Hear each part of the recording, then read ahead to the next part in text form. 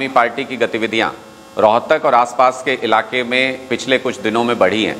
भूपेंद्र हुड्डा जी और पूरा हुड्डा परिवार, उससे कहीं ना कहीं इनसिक्योर नज़र आ रहा है, कहीं ना कहीं परेशान नज़र आ रहे हैं। वो लगातार हमारी गतिविधियों को ऑब्ज़र्व कर रहे हैं और उनको लग रहा है कि सबसे ज़्यादा डेंट उनको इस इलाके के अंदर हो रहा है। जो हुड्डा साहब ये कहते थे, ये मेरा गढ़ है और अब मैं पूरे हरियाणा को जाके संभालूँगा, पूरे हरियाणा में प्रचार करूँगा। वो पूरा हुड्डा परिवार पिछले कुछ दिनों से और अगले कुछ दिनों का अगर आप कार्यक्रम देखेंगे तो रोहतक और आसपास के इलाके में सिमट के रह गया दीपेंद्र हुड्डा जी हमारे महम के जो कार्यक्रम हुए, जिसमें पंजाब के मंत्री भी आए, पिछले कई कार्यक्रम हुए, उससे घबराए हुए दीपेंद्र हुड्डा जी महम में घर घर जाके लोगों से माफ़ी मांग रहे हैं, चक्कर काट रहे हैं। उनको ये आग्रह कर रहे हैं कि हमारा साथ मत छोड़िए, हमारा साथ छोड़ के मत जाइए। भूपेंद्र हुड्डा जी ने, जो कहते थे कि मुझे तो गड़ी सांपला किलोई में जाने की ज़रूरत नहीं है, घर है, वहाँ से तो मैं ऐसे ही जीत के आ जाऊँगा। गाँव गाँव का दौरा कर रहे हैं।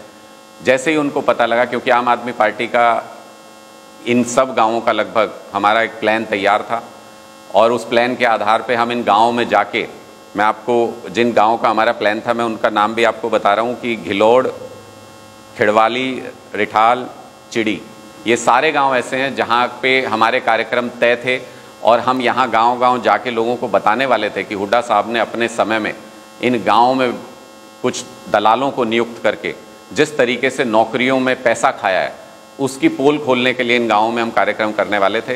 हुड्डा साहब उससे बुरी तरह से बौखलाए हुए हैं और उन्होंने अपने, अपनी कॉन्स्टिट्युएंसी के तीन दिन का दौरा रखा है अलग अलग गाँव में। तीन दिन के लिए वो यहाँ पर जा रहे हैं। तो मुझे लगता है कि जिस व्यक्ति की अपनी कॉन्स्टिट्युएंसी उनको सुरक्षित नज़र नहीं आ रही, जहाँ जाके उनको घर घर जाके अपने लोगों को मनाना पड़ रहा है तो मुझे लगता है कि वो अब मुख्यमंत्री की रेस खुद ब खुद छोड़ रहे हैं, खुद ब खुद सरेंडर कर रहे हैं और अपनी कॉन्स्टिट्युएंसी को संभाल रहे हैं, अपनी राजनीतिक विरासत, अपनी कॉन्स्टिट्युएंसी तक सिमट के रह गए हैं। पूरा हुड्डा परिवार यहाँ पे लगा हुआ है।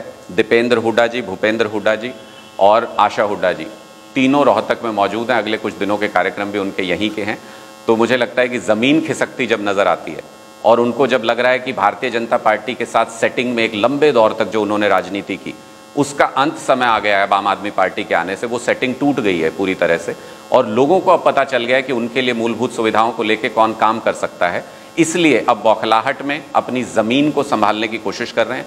लेकिन मैं खुला निमंत्रण देता हूँ हुडा साहब इन सब गाँव में जा रहे हैं, समझाएँ लोगों को। उन्होंने राज किया है यहाँ पे, यहाँ से मुख्यमंत्री रहे हैं दस साल तक।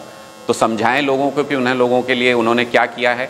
हम भी जाएँगे अपने कार्यक्रमों में, इन्हीं सब गाँव में, और हम लोगों को बताएँगे कि जब हुडा साहब का राज होता था तो कैसे अपने ही राज में, अपनी कॉन्स्टिट्युएंसी के लोगों को, अपने नियुक्त किए गए दलालों के ज़रिए पैसा लूट लूट के ठगाया हुड्डा साहब ने, हम भी इनकी पोल खोलने के लिए इनके इलाके में जाएँगे। देखते हैं लोग किन की बात का विश्वास करते हैं।